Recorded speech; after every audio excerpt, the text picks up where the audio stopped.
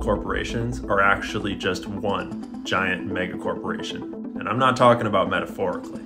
And I'm not talking about BlackRock. They're gonna pop the biggest financial bubble in all of history. It's a currency collapse. Who have you heard talking an awful lot over the last year about introducing a new kind of currency? Like, holy that there's so much more to this dig that I'm doing right now. I'm stoked to do all these pieces on it, but like, what an opener.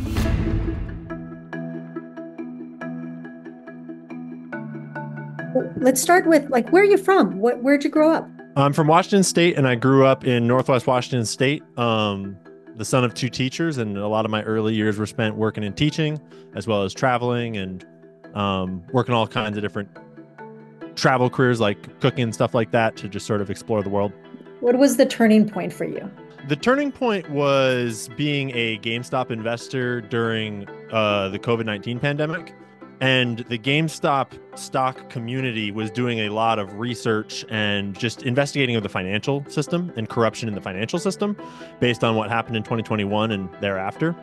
And so that sort of inspired me to do my own learning about what's kind of going on in our financial world and in the money world. And one thing led to another. And eventually, teaching is a changing art form. And more and more as attention is being paid to online media and to social media, I knew that as a teacher, you almost have more ability to reach and teach if you're in the online spaces. So that had been on my mind for a long time.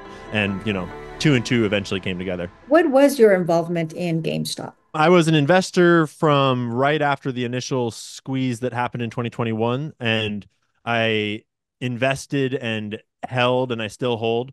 Um, and for the most part, I was just a learner and an observer and was really interested in what was happening in terms of regular people starting to do their own research and sort of pick companies based upon their research rather than based upon financial news media. And then more and more as we started to discover just how corrupt the financial system is and how few people on Wall Street and in these companies are doing anything to sort of speak about that corruption, the more conviction I gained over time. Um, so, what's your take on how it all went down? I think that at the time it it took a lot of people by surprise, and at first it seemed like it kind of came and went, and that is very much the picture that has been painted in the bigger scheme of things. But the more that I looked into it, the more that other people uh, around the world looked into it, the more we realized that actually it did not all kind of come and go and the repercussions of it are still reverberating through the markets to this day. And actually i would argue that the story is still kind of chugging along in the background and i'm expecting there to be another major development in that story coming in the next six months or so. Um, and i'm currently working with a team about a documentary of the whole storyline from 2021 and before the setup of what brought us there as well as everything that's happened behind the scenes since. Um, so i don't want to say too much because i think that the public will you know, watch whatever unfolds as it unfolds. But I think that the way that corruption in our markets is sort of a rot at its core, I think that that is an inherently self fulfilling prophecy that can't go on forever. And I think that what happened in 2021 was a major blip along that storyline. But I think there's a lot more to come on this sort of financial corrupt underworld of all of Wall Street that is still sort of eating itself from the inside out it's blatantly criminal some of the things that happened in 2021 um, from turning off the buy button on a single security or set of securities um, pretty clearly on behalf of various powerful people. Um, all the way to the way that news media portrayed it um, there was some alleged perjury that happened. So there was crime in front of our eyes, but then there's a lot of financial crime behind the scenes too, related to naked short selling and rehypothecation of shares, which is essentially printing free money. It's like having a money printer for people that are not the Federal Reserve. If you can just invent shares that don't exist and sell them into the market um, on loan. So I, I think that it opened up Pandora's box as to how many sort of gray areas of regulation have been sort of written into the, the the law of Wall Street without any oversight or examination. And when it finally saw the light of day through this massive scandal at the time, it became common knowledge and and far more uh, talked about just how many different sort of avenues of attack a corrupt actor has um, in Wall Street. So was this the beginning of your social activism? Yeah, actually, it's even more recent than that. I posted my first video in May of 2023, so I'm not even a year and a half into this. I've had a pretty meteoric rise. What do you think about that? it's very weird. Um, my life changed overnight, um, and it's it's cool because I think that coming from a teaching background, I think that I was well prepared to sort of start for the right reasons and thereby not really have to change anything as that evolved. Um, because really, I'm not I'm not on social media to be an expert at anything. I'm not on social media to um, do anything other than learn because the initial impetus was there's so much that I don't know. And if I want to be an informed citizen, then I should get informed by learning. And as a teacher, I know how to do that. So I'll just teach myself. And basically, my whole social media presence has been the process of me thinking about something I don't know about, researching it, sharing my research, and sharing what I learn about it, and then often also sharing what I'm mistaken about and then learning from those mistakes and continuing to just expand my understanding. So it's it's been cool, but it's also been sort of a, a steady path from the start of just learning, and there's no end to that. So it's it's pretty exciting that my job is now just to learn and talk about it. I have a very funny teaching career where I started as a volunteer teacher when I was a freshman in high school. I started volunteering at the middle school that I had gone to, teaching various after school clubs and after school programs. And because of my background growing up around it, my parents working in it, um, I started to just get referrals from one job to the next um, without ever actually getting an official teaching degree. So I was never like the third grade teacher at a public school, but I've taught almost every grade from high school to pre K, and I've taught all kinds of different subjects from like assistant English writing teacher to science courses math and Spanish tutoring. I guess I did teach Spanish full on for a little while. So I've kind of done the full gambit at all sorts of interesting alternative. Uh, I think they were all private schools um, that allowed for a lot of really cool learning on my part and sharing with really cool kids, which was a lot of fun. So you left teaching kids behind, but now you're basically, in a way, teaching the world. I'm sure some kids watch my stuff too, but yeah, I see I don't see teaching kids and adults as being all that different. Um, we're all just lifelong learners, and I think there's a varying to a varying degree. Some people sort of stop learning at a certain point, and my hope would be that I can inspire them to start again. Because the moment you stop learning is the moment that the world stagnates for you. That you start. I, I say if you're not learning, you're dying. So, I'm hopefully can be an inspiration for everyone to realize that learning is our responsibility, especially in a modern world where we all have smartphones. So, what was the one topic that like catapulted you? There's kind of two. In the early days, it was going into grocery stores and taking photos of different grocery aisles and the products on the shelves, and then researching what company makes that product and who owns that company and who owns that company that owns that company, and tracing the sort of financial ties of all of our products upwards to the top of that chain and showing in visual representation by just straight coloring on those photographs how many of our products are actually basically just product monopolies by a very few select number of corporations that are basically all run by the same interest groups and the same banks owning those public corporations and sort of demonstrating the lack of actual choice we have in our product space because that speaks to everybody. Everybody shops and everybody has this feeling of increasingly high prices for increasingly low quality products. And that catapulted me in a big way at first. And then once i kind of i got onto x at a certain point in that in my trajectory and shortly thereafter the first p. Diddy case came out. Tonight they arrested p. Diddy. News just broke that they took him into custody in new york city. And that got picked up in a really big way and i did some of the first reporting on that first um the allegations by Lil Rod and the way that that tied to Michael Jackson and other sort of histories in the music industry. And that reporting really exploded my platform too. So, what exactly inspired you to start your company? It's kind of just a, a social media strategy, really, of realizing that on social media, people are very judgmental and herd minded. And I knew that if you start making a social media account trying to proselytize to people and teach them and tell them anything with authority, they are not inclined to listen to you. But if you start as a small business or a brand or a company, then it sort of changes that frame of mind that people attach to you.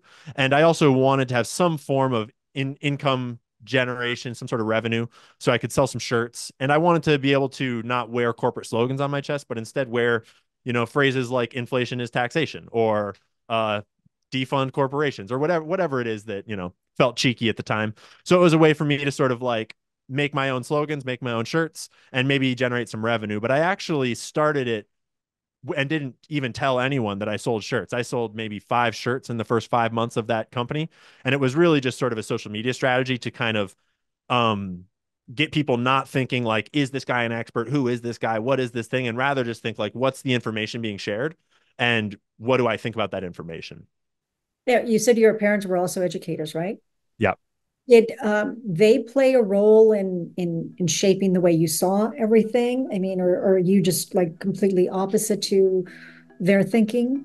They certainly played a role in how I think and how I see the world. They were they're integral to my whole worldview in terms of how I synthesize, how I ask questions, how I look for evidence, um, and how I parse evidence too. Because parsing evidence is one of the most important skills in today's media landscape. And I attribute a lot of that to uh, both their parenting and the schools that they sent me to because for example my mom was the principal of a really really cool private school that i attended through middle school ages. And that education from that school specifically really shaped my relationship to information. Um however nowadays politically we're very opposite. Um and part of that is because they don't pay a lot of attention. They don't they don't like do any more they don't do research they don't really engage with politics very much they're they're old they're retired um, whereas I'm very active and very engaged with learning and, and looking at what's going on. Um, but on a lot of things, we still agree, which I think is true of most of America. I think most Americans are made to feel as though they're so divided on everything. But realistically, I think most of our core values are basically all the same. And it's just a couple of culture war and hot button topics that get presented on the news that really split people apart. And you're pretty much uh, question everything kind of person, right? Yeah.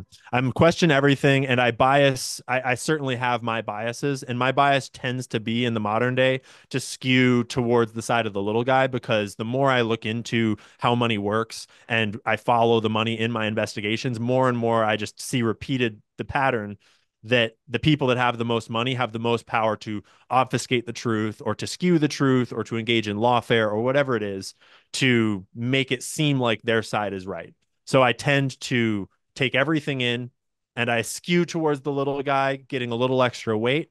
But I also try not to make up my mind too often. Even when I feel like I've done the research on something, I treat it as though now the probabilities of what is true have shifted, but I could always see new evidence that shifts it in a different direction. And were you always interested in journalism? Not really, honestly. Um, I spent most of my life just, I've always been a big picture guy and I've always been interested in big questions and big ideas.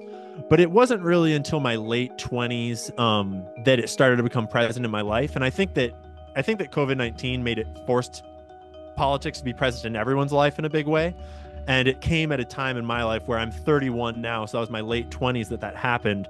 And it was where you couldn't really escape it. If you did like it sort of became very clear to me that the world is affecting us all whether you know what's going on or not and so the more you can know what's going on the better positioned you can be to you know, put yourself in a good position or prepare yourself for the future or whatever it is. So journalism has really entered my life in a concrete way and more in the last three or so years. Um, though the ethics and the sort of base principles have always been who I am. Now, I know you're very critical of mainstream media. And in fact, I remember having this conversation with Jay Kumar, who reached out to you and said, Well, I don't think he'll do this interview because he doesn't like the media. We should be critical of every institution, um, from government to corporations to even just people with a lot of money, because the more power you have in this world, the more ability you have to, you know, pull strings and to do things. And but at the same time, I think it's important to engage in genuine conversation with everybody. And I we live in a day and age where people are often trying to group people up and sort of simplify things. And the mainstream media is a great example where it's easy to smear all mainstream media as being one corporate like conspiracy. But realistically, it's a large institution made up of thousands of individuals that all have their own opinions and their own jobs and their own lives.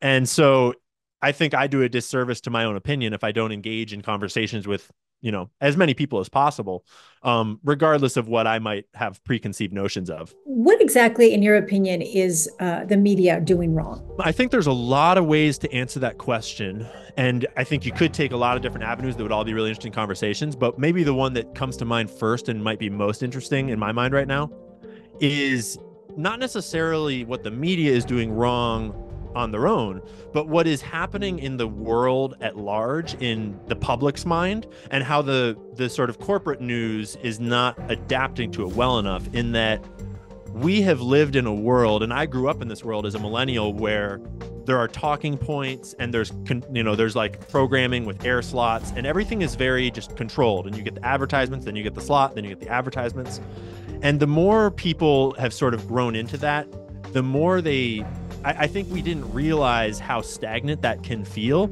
until we started to get things like podcasts and things like digital media where you're getting um, unfiltered takes from people and you feel this humanity through that format that's really hard to convey in a mainstream media setting and is often and I'm speaking from the outside here, but I it seems to me that it's often not either discouraged or just not nurtured in a mainstream media setting. And so even if you have a great person going to work as a mainstream newscaster, it might be very hard to come across as genuine when you have these various things you have to sort of like fit into that show. Whereas me, I get to just turn my phone on and speak directly to people with whatever my opinion is and whatever the setting is. And I think that people have been hungry for that sort of genuine connection more and more as the world gets more and more divided and digital and and cold. And so I think there's this natural desire for that that the mainstream media inherently is not well positioned to fill. Yeah, I, I hear you. I remember many, many years ago, Steve Edwards, who used to be our, our uh, host on Good Day LA, um, told me I, I was really nervous and coming into this new group. And he said, just be you. Don't try to be this anchor person or this reporter person. Just be you. Mistakes and all, people will either hate you or love you. It doesn't matter, but just be genuine. Yeah. And I think you're right. I think that uh, some of that is missing. You know? Yeah. It also goes a long way towards making it sustainable for you yourself. And I think this is something I mentioned this a little earlier, where because I had been a teacher, I'm sort of have already gone through the learning curve of realizing that if you start to make your persona on that job be an act, then you're spending all your time at work acting and that's really tiring and it can be a really leading cause of burnout. Whereas if you make the way you teach or the way you present on on camera just natural then it's it's actually not so tiring at all. It's almost it can be cathartic to just be you. And i think that the more the most natural people become the most like connected and popular in whatever their setting is because it just feels good to watch someone who is uninhibited by all the other garbage that most of us pile onto ourselves needlessly, I think. So let's talk about Diddy. Yeah. oh my goodness. In your opinion, why did it take so long to expose this? In my opinion, the evidence that has come out so far all paints the picture of something much bigger than Diddy it paints the picture of him having protection from law enforcement and him having some sort of agreement with law enforcement, whether that's a, literally from the federal authority of the FBI or from some like splinter organization within the FBI, or it's hard to say. But there are lots of claims over the years from the rumor mill of Diddy having some sort of federal protection. And then there's also direct allegations within a couple of these different suits that claim that he either had police or federal sort of cover. Um, and and what we see outwardly as far as how he's been acting for so long and how much he's allegedly been doing behind the scenes with no one going after him it all adds up to he is not the top of this thing but is rather a useful pawn um, and hope and i think in their minds hopefully a a place where you can cut the, the strings and set him free and and pin it all on him is what it seems to be from my perspective. So I think that he was useful and protected for a very long time because he became very powerful. He rubbed shoulders with a lot of very important people and he was really doing exactly what it looks like he was supposed to do. And it was only as you can kind of trace his belligerence becoming more and more egregious and his violence becoming more and more unhinged. As his power grows and his ego grows it it feels like he was sort of overextending his welcome simultaneous to maybe coincidentally it's hard to say Cassie Ventura drops her civil lawsuit. And it feels like when she dropped her civil lawsuit it was either salacious enough or evidenced enough or public enough that his like the thinness of his thread was too thin for him to stay protected and whoever had been protecting him just finally said we're out. We're not covering for you anymore and in part him settling with cassie for probably a lot of money opened the floodgates for more lawsuits and, and so it sort of became open season on diddy and i think that whatever was protecting him before wanted to wash their hands of it I remember speaking with a criminal law attorney who said he should have settled that case immediately because the longer it just dragged, it just became a bigger problem for him. Yeah. I don't know if that's accurate or not. The executives, the music executives who just resigned, like was was it on the same day or the next day? It was the next day. what do you make of that? Right now, I think it's probably a coincidence. Um, the guy specifically, this Lyles guy that resigned, who was big up at uh so Diddy is in the Universal Music Group umbrella, and this other guy is in the Columbia Records umbrella, I believe, um, at Atlantic, and um, and he's not like super directly related to Diddy. He's very related to Jay Z, who is very related to Diddy. Um, and, and there it is suspicious, but at the same time, uh, people point out pretty wisely that a lot of corporations' fiscal quarters end around this time of year, around September. Um, and so it's not an illogical time for someone to step down. It's just a weird day to announce it. And it seems like a pretty abrupt stepping down, that guy in specific that I was referring to in the pieces I've done about him. Um, I think time will tell. I think it's important not to over speculate because you start to debase your own perspectives and you start to debase what is true. But it is important to keep our eyes out and and to look carefully because one thing that I always come back to is that I think most normal people don't have any reason to think about is that right now we're kind of talking about investigating a covert intelligence agency operation. It might just be Diddy doing evil stuff, but it might be more nefarious than that. And if it is more nefarious than that, we're talking about the tactics of covert intelligence agencies. And the whole point of that is plausible deniability. And so operations like sexual blackmail operations are designed to be deniable, unprovable, and untraceable. And so inherently, we need to be looking for evidence that is hard to put together.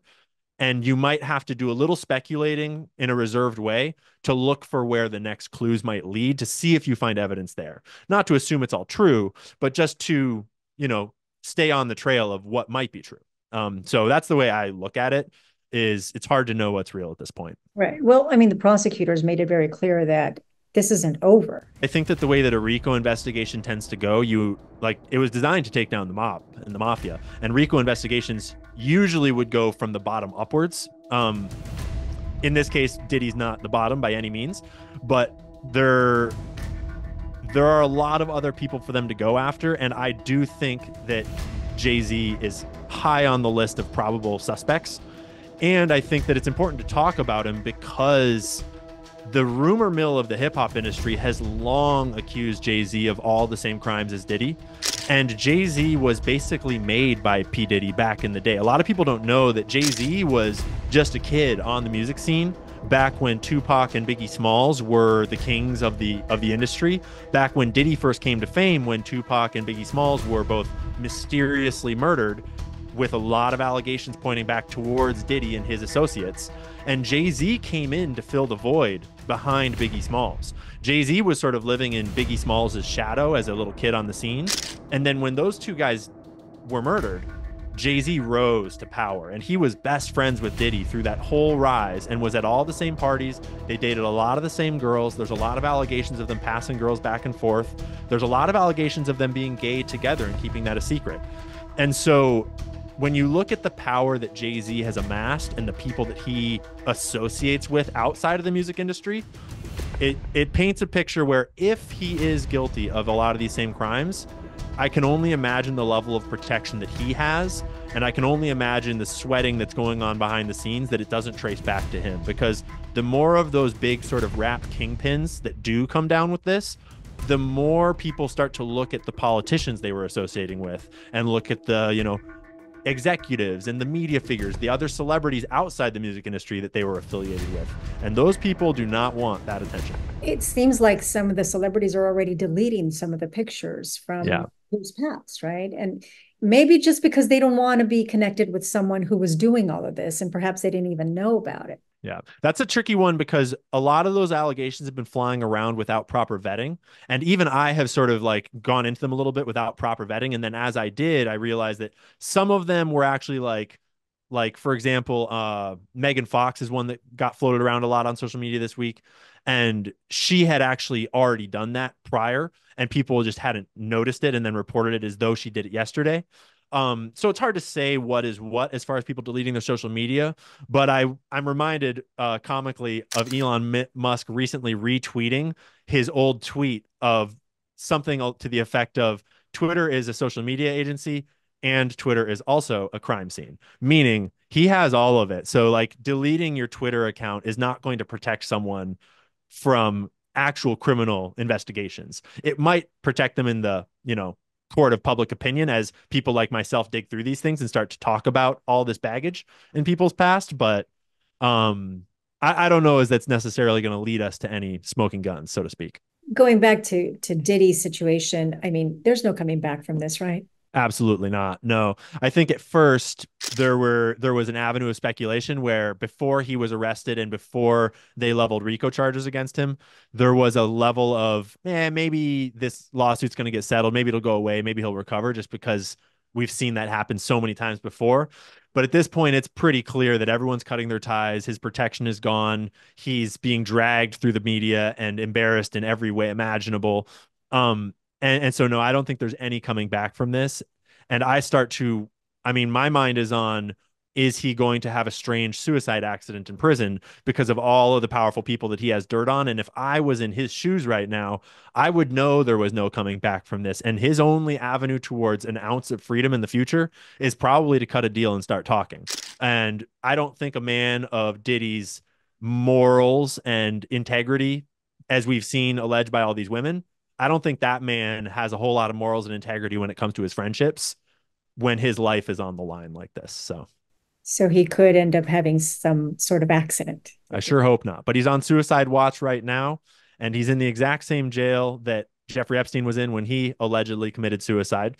Um, so I think we're all hoping that Diddy doesn't Epstein himself in the near future because we're all curious to hear what he says. Going back to Epstein, um, you don't believe he committed suicide? Not one bit. I think that any any real analysis of the number of coincidences that befell him on that day paired up with the number of powerful people that he had been blackmailing over the years, people in the US government that would have access to the US penal system in some regard, I think it's kind of beyond any reasonable doubt that Epstein did not kill himself.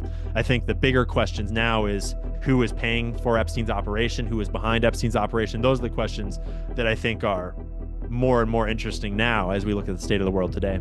Yeah. Um, you've talked about this hip hop agenda. What is hip hop agenda? Um, the hip hop agenda is a set of allegations that have been made um, within the hip hop ecosystem. And it's kind of, you know, you have to be careful about what terminology we use because hip hop culture is inherently they almost speak a different language like rappers have sort of evolved this this their own dialect in a lot of ways um and so the rumors and the allegations that kind of circulate in the hip hop industry uh they float back and forth in this weird place where it's hard to know what's real allegations and what's not. Um, the hip hop agenda is one that comes from this really bizarre interview that aired back in 2018 when the Trump Doral Hotel shooting happened. And it was this guy that was like a Trump supporter bodybuilder that walked into the Trump hotel and shot a bunch of rounds for no reason and basically got himself arrested to allegedly send a message to Donald Trump. And at the time, he seemed like a crazy person, a totally crazy person. And he still does a little bit. But he made all these allegations in that interview he did from the hospital that he was a Diddy sex slave and that he had had sex with Diddy and his girlfriend Cassie Ventura while Diddy watched and filmed. And he made all these allegations before anyone knew anything about it. And at the time, everyone was like, what is this guy talking about? And now you fast forward five years and you realize that all the things he said about Diddy were spot on the money. And if he was a Diddy sex slave, then it's likely that what he's saying about what he heard and learned from that time with Diddy probably has some weight to it as well. If you can piece through what is fact and what is fiction in that interview. And he alleges in that interview that the hip hop agenda is basically the drug smuggling ring that happens within the hip hop industry using the private jets of hip hop stars because private jets don't get screened by customs or DEA when they fly around the country. And so he alleges that the hip hop industry is being used to traffic large quantities of drugs, both marijuana, cocaine in liquid form, cocaine in powder form, all sorts of other drugs across and around the country on behalf of organized crime and probably laundering the money through the hip hop industry through these parties and various shows and events and album record sales and such, which is like the music industry has a long history with organized crime, with the mob, with money laundering. It's one of the most sort of like criminally tied industries there is. And so it, there's there's an air of truth to what he's saying that that right now it's just hearsay and allegations from you know a guy. Um but the more you start to look around you start to realize that there might be a lot of you know a lot of juice in that squeeze so to speak if we start to dig into it. So right now i'm in the process of digging into it and we'll see what turns up. Did he provide any evidence, any photos of him hanging out with Diddy or Cassie, anything like that? To my knowledge, he did not provide any physical any corroboratory evidence at all. To my knowledge, it is 100% hearsay what that interview is. I don't think he would have had an opportunity to provide any really. Um, it, I'm not sure because he was like arrested on as a, as a shooter, as a lot active shooter, and that interview was conducted before he had even sort of been processed and taken to jail. Um, so I have not followed his case through. There's a lot to do, and I intend to. Um, but no, I don't.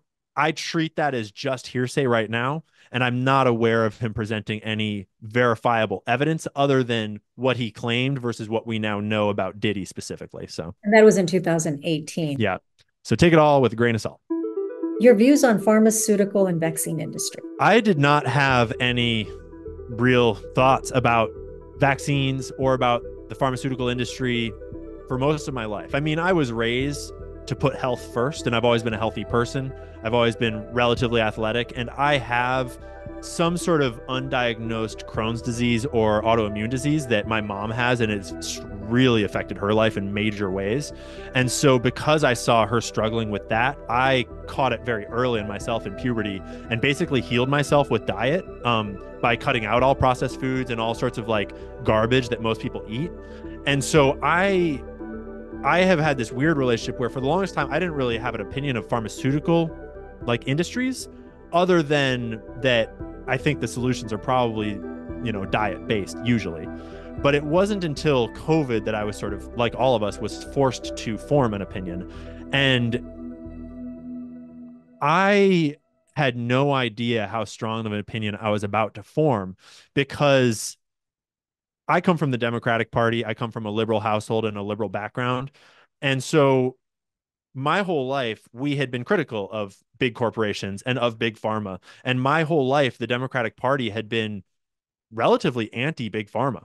And we had lots of examples from things like Vioxx um, poisoning people, um, poisoning mothers, poisoning infants, to Johnson and Johnson with asbestos in their baby powder. There, there's lots of examples of big pharma doing atrocious things.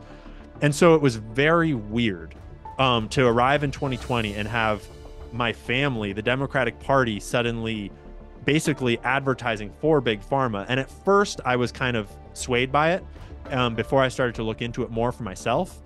And um, somewhere around the Black Lives Matter protests, when we had like a certain narrative being given to us about masks and about safety measures and about crowds and about not even going to gyms to get healthy during the pandemic.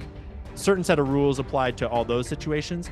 And then all those rules were abandoned for Black Lives Matter protests. And those were cheered on by the exact same politicians, like burning. Like I lived right near Seattle. My girlfriend had to leave Seattle because she lived right next to that CHOP autonomous zone that they established in Seattle where people were getting shot. So I'm watching the same politicians cheering on maskless riots and burning in the streets and then the very next day they're on TV telling me you're not allowed to go to the gym without a mask because you're going to make grandma sick. And that just put set off alarm bells in every direction. And since then, all the research I've done and all the people I've gotten to talk to and learn about, I have a very strong opinion now um, that I think it's a gigantic racket. And I think there's an enormous pile of evidence to show that. And the only answer that the pharmaceutical industry has ever had has been to censor that information. And I think that one of the most acute and and simplest examples of that censorship is Robert F. Kennedy Jr., who was a darling of the left. He was a darling of the Democrats his whole life. He was the water keeper. He was he was the environmental guy. And then the moment that he started looking into the actual evidence about vaccines and about how much money pharmaceutical companies are raking in on vaccines, he gets banned on all platforms. He gets censored on all platforms. Um, when his book, the real Anthony, the real Anthony Fauci, it is one of the most cited sourced books I've ever read.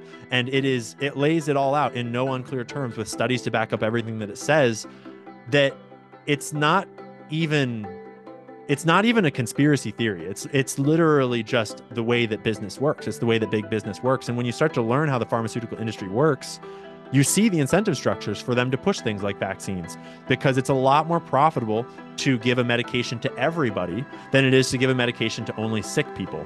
Um, and you know, there's all sorts of other conspiracies of like, yeah, or you could make everyone sick and then sell them Ozempic is a very present one on my mind right now. But regardless, it's it's baffling to me to see the Democratic Party become the big pharma party with no like hindsight as to what we've known our whole lives about big pharma. Um, so one of my favorite shirts that I sell now and that I wear most often says "food, not pharma," right across the front, because I think the vast majority of these diseases have only existed since processed foods and fake oils and all these other things have been fed into us. Most of them never existed for our whole lives, and we were getting along just fine without this chronic disease epidemic.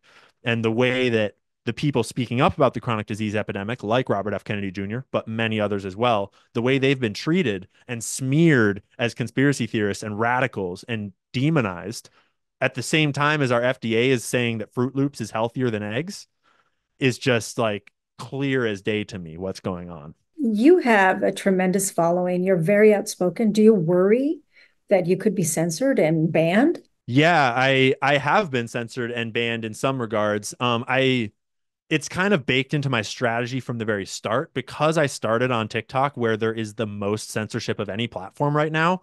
I learned pretty early on how the AIs that are in our algorithms sort of watch our content and censor us based on keywords, censor us based on topics. So I learned a lot of strategies for how to avoid sort of the algorithmic censorship. And then I also diversified across a wide array of platforms so that I am censorship resistant. Um, and I accrued enough of a following base that I have enough subscriber support now that just support me because of what I do, not because of any specific views on any specific videos. That now, even if I was taken off of all the platforms, I would still be able to keep on supporting myself and doing the research I do and publish it somewhere else. So th- there's a strategy to getting around the censorship in this modern world, for better or for worse you know we are supposed to have free speech but in reality i think the job of an independent journalist today is to protect their free speech not just to exercise it as well so what are some of the keywords that we should uh, stay away from to make sure we don't get banned? It depends on the platform, somewhat ironically. TikTok shows us sort of all the censorship at once. And so, in my experience, the things that get most censored on TikTok are anything that aligns with sort of the military industrial intelligence complex's agendas. That includes the CIA, that includes the forever wars, whether it's the Ukraine war or the Israel Palestine conflict. Um, that includes a lot of the big corporate industries, some of the like uh, untouchable corporate industries like big pharma, COVID, and the vaccines. Um, it includes things like anything to do with elections, uh, because you know the CIA is very concerned with elections. Of course, only overseas; they would never be concerned with ours. Um, but if you, it, it's it's ironic and it's it's abhorrent that actually TikTok censors videos discussing our free and fair elections, even ones that aren't conspiracy theories, even ones that are just talking about elections. They censor us Americans talking about elections as if it was they say it is election interference or like election integrity is their buzzword because they're protecting our elections by censoring our first amendment free speech about our elections which is the most just asinine thing i could ever imagine. But that kind of runs the gambit. Is anything that is sort of part of the establishment like public culture war narrative or real war narrative? Um, those are the, the most sensitive topics what are your views on Gaza, Israel? They're always evolving and they're very complex, especially to bring with no context. But in general, I didn't have strong views on it at all um, until I started ironically researching it for a different piece that overlapped with Israel and Gaza, and I felt uninformed. This was back last year, like in August and September of last year. And I realized how uninformed I was about it. And so I started doing my own research piece about Israel and Gaza, and I actually finished it and published it on October 6th, um, which I could never have imagined how weird that timing would have been. And um, and my views then, when I finished that research piece, and my views still to this day, are that I see Israel as having entered into their state initially on the backs of an immense power and money complex of both the Rothschild banking empire being literally the people in the Balfour Declaration who were assigned this land by the British Empire, all the way to the financing of the initial Israeli state by massive financial interests, being armed and supplied by the Jewish mob, sending weapons from America to the paramilitary groups that were fighting for the founding of Israel, and then those paramilitary groups that were fighting for the founding of Israel, all being so intense that the government of Israel, newly formed, had to label them all as terrorist organizations because they had essentially been committing acts of terrorism in order to found that state. And the people that led all of those groups went on to lead Israel for the next 20 to 30 years. So, my view on Israel is that its founding, whether you feel like its founding was justified or not, it was founded by some pretty harsh people that had a lot of violence in their past and large amounts of money backing what they are doing. And that tends to lead to corruption. When you have people that can commit violence and have lots of money, and when you look at the history of Israel, there is an incredible amount of corruption, an incredible amount of um, doing things that are unconscionable for the sake of the survival of the state. And I would I would put Jeffrey Epstein in that bucket. More and more the evidence is stacking up that Jeffrey Epstein was an Israeli operation, right down to Ehud Barak, the ex-prime minister of Israel, being what looks to have been Jeffrey Epstein's handler both in the 80s and all the way through the 2000s. So my opinion is that I am not a huge fan of Israel's state and their government and their policies. I would be one of those Israelis that is out there protesting Bibi Netanyahu's regime. Um, but I also don't think it's simple. I think that there is an argument to be made. Like I don't think that you can like the the camp that goes like all Jews are bad and like all Jews are, should like that is not helpful at all. That is super destructive to a productive conversation. Um, there's no simple way out of it, but I certainly don't think that bombing civilians in Gaza is doing any good for Gazans. But I also think that it is the leading cause of like this new anti-Semitism in the world too, because it's just on full display in front of all of us how uncompromising that that regime is, regardless of the life, human life consequences, and regardless of the political consequences overseas too. In your opinion, what is anti-Semitism? Great question. People see it differently. It's getting thrown around so much these days, and I I speak on this a fair bit too. That I think that anti Semitism is getting wildly overused by people that are defending Israel um, from passing legislation in America that's like sort of aligning, criticizing the Israeli government with anti Semitism in our own laws, as well as just people online throwing the anti Semite label at someone who says, I don't support the war in Gaza. And that debases the value of that term because violence against Jewish people because they are Jewish is a very real historical phenomenon, just like violence against Black people is a very real historical phenomenon. And we need a word reserved for real violence against groups of people because they're in that group. And if you start to throw that word around just because someone is having a complex political discussion about the state of Israel, or even if you like i get thrown that label gets thrown at me just for talking about jeffrey epstein and saying that jeffrey epstein looks like he was mossad that starts to make the word anti-semitism mean less and less and less every time it gets used. In the exact same way that today the word racist is getting is like the new most common insult and it makes it so that when you actually call someone a racist it's not really like racism is getting debased in the same way where we no longer have a word that's strong enough to condemn the truly condemnable Okay, so you you touched on Epstein. Clarify that. It's hard to explain in any sort of short form style because there's it, any kind of conclusion about an intelligence agency operation or a conclusion about like a sex trafficking ring has to be based on a ton of evidence because like I said earlier, it's all obfuscated and it's all designed to be deniable, plausible deniability. But if for anyone that hasn't read Whitney Webb's book, One Nation Under Blackmail, it's a two volume book that is the most well sourced and complete uh, examination of the entire Jeffrey Epstein network, the things that led to it, the people that were involved in it, the people that brought him to power, the people that engaged with him and helped him. It's the it's the most complete assessment done to date by far, and it paints a very clear picture.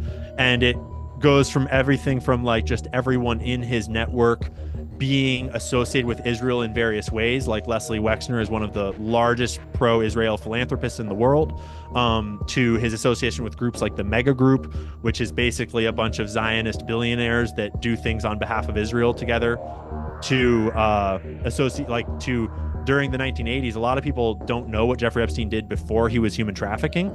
Um, and this is this time in his life when he was allegedly a bounty hunter for billionaires, is the way that he described it to people. But what he was actually doing during that time is he was doing arms trafficking and he was doing money laundering for arms traffickers. And he was arms trafficking with a British guy named Douglas Leese and with this other guy named uh, Adnan Khashoggi, who's one of the most famous arms dealers of all time. And his handler, the guy that brought him into those circles, was Ehud Barak and Robert Maxwell. And Robert Maxwell is one of the most infamous Israeli Mossad's, I guess he's not technically Israeli, but he's a Mossad spy of all time. And Ehud Barak at the time was one of the highest figures in the Israeli intelligence apparatus, and then later went on to become the prime minister of Israel. Um, so Jeffrey Epstein was brought from the corrupt financial world of Bear Stearns into the arms trafficking and money laundering world by two senior level Israeli intelligence people. And then over the next decade, that transformed into running a blackmail operation in close ties with Robert Maxwell's daughter, Ghislaine Maxwell.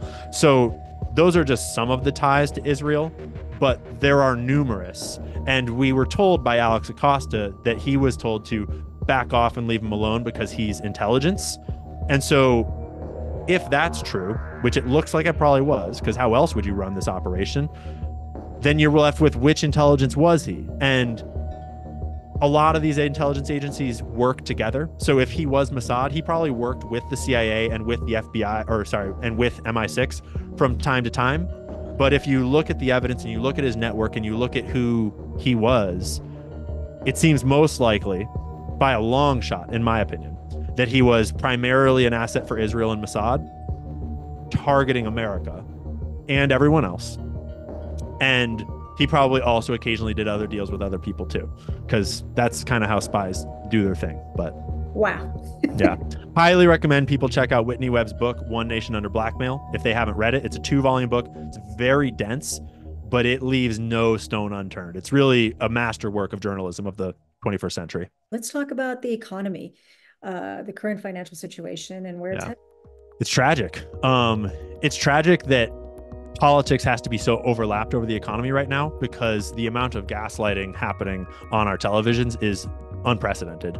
And for this campaign season to try to overlay this narrative of everything's fine, but I'm also going to make it better next when I get elected. And this just this whole made up narrative about the economy while people are paying $18 for a Big Mac and $7 for a carton of eggs is just asinine. And I, I, think there's a million directions you can go at it, but the the angle that is inherently and intentionally, I believe, not talked about is that inflation is not like it's not Donald Trump's fault. It's not Kamala Harris's fault. It's not Joe Biden's fault. Inflation comes from the Federal Reserve printing money. And the Federal Reserve printing money, like they come out in their Fed meetings as though they don't understand what's going to happen and they couldn't really predict and maybe we'll have a soft landing and it's like that is all these are the most advanced educated financial professionals in the world and they are being hired to run the most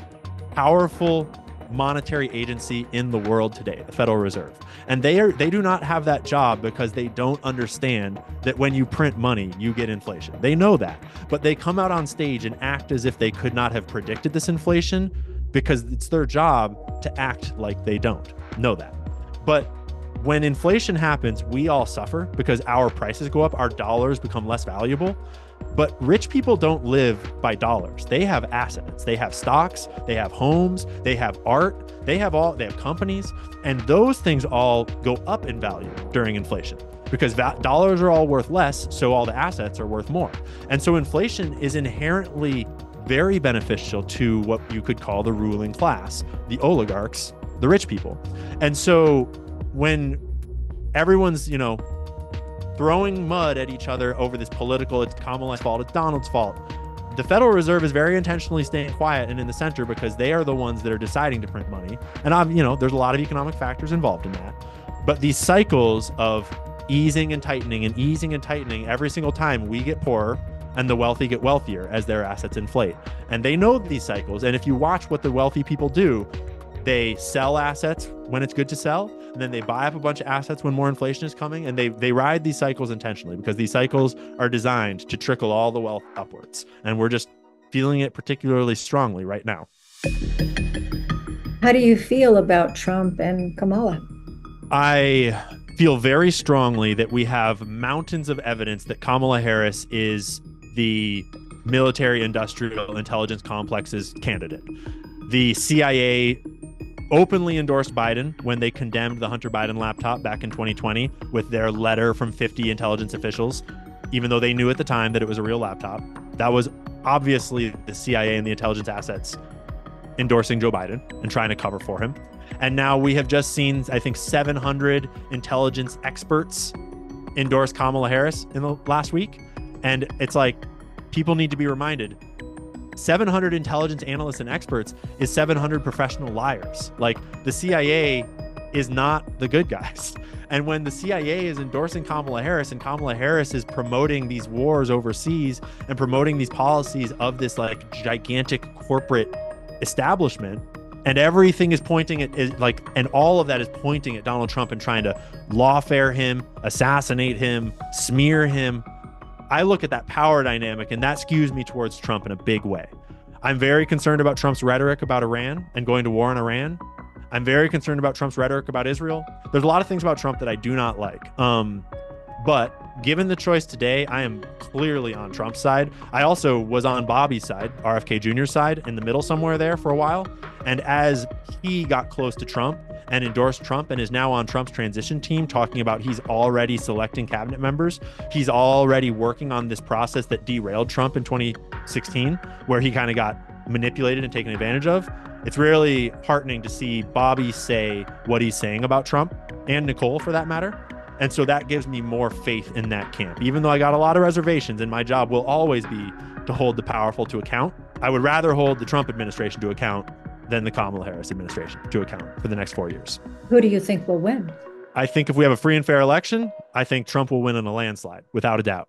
I think it is inconceivable that we will have a free and fair election, all the way from big media bias to lawfare interference to assassination attempt interference, right down to vote counting, electronic ballots, mail in voting, all sorts of things that we've seen many years before. And it's like this taboo to say that there could ever be election interference in American elections.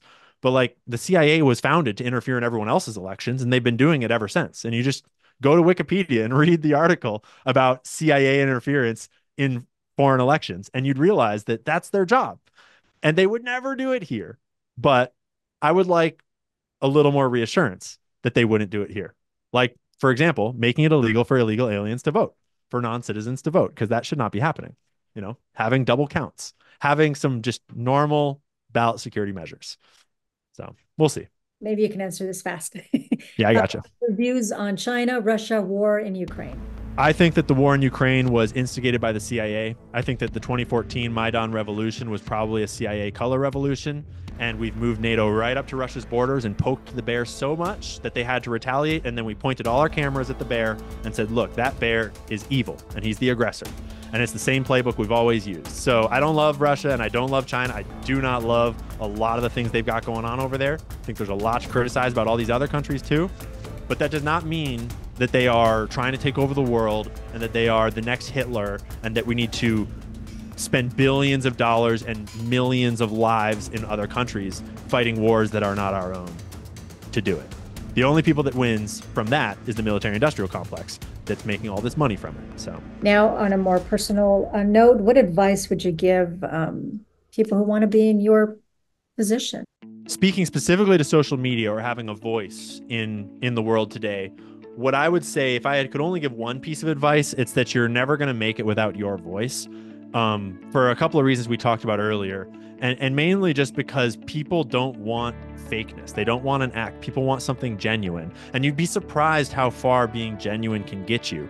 And so I would I would suggest that if you want to have a voice, if you want to share something, the most important thing is that it matters to you because if you're just trying to speak in order to get likes and in order to get views, that's not genuine.